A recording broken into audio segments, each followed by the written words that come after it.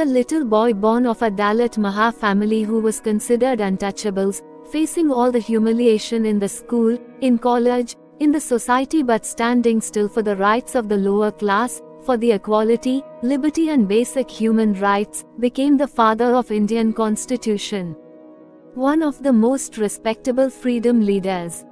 Dr. B.R. Ambedkar was born on the 14th of April 1891 to an officer in the Indian Army. His father retired in 1894 and the family moved to Satara two years later.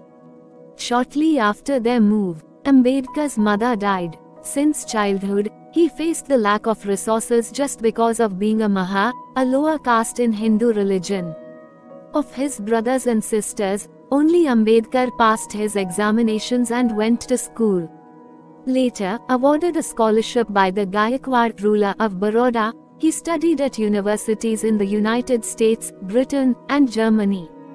He entered the Baroda public service at the Gayakwad request, but, again ill-treated by his high caste colleagues, he quit in a short time. However, after that, he tried many ways to make a living for his growing family. He first worked as a private tutor, then as an accountant, and even established an investment consulting business, but it failed when his clients learned that he was untouchable. Later became a professor of political economy, although he was successful with the students, other professors objected to his sharing a drinking water jug with them. Before the Southborough Committee, which was preparing the Government of India Act 1919, he argued for creating separate electorates and reservations for untouchables and other religious communities. While he was practicing law in the Bombay High Court, he there tried to promote education to untouchables and uplift them and thus established Bahishkrit Hitakarini Sabha. For the Dalit rights, he started five periodicals. By the year 1927, Ambedkar launched full-fledged movements for Dalit rights. He demanded public water sources open to all and right for all castes to enter temples. These movements disturbed the higher caste Brahmins and thus faced a lot of objections.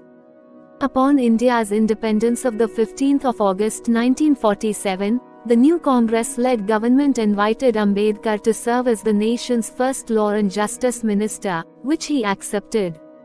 On the day of August 29, he was appointed as chairman of the Constitution Drafting Committee and was appointed by the Constituent Assembly to write India's new constitution. He had studied and chosen the best from the constitutions of about 60 countries. Ambedkar is recognized throughout the world as the father of the Constitution of India. The struggle was a part of Babasaheb's life as he had to work hard for everything he achieved. While he is being remembered for his restless sacrifice and struggle for a new social order, the Indian nation shall always remain indebted to him for giving us a constitution that defines our core values as a nation. However good a constitution may be, if those who are implementing it are not good, it will prove to be bad.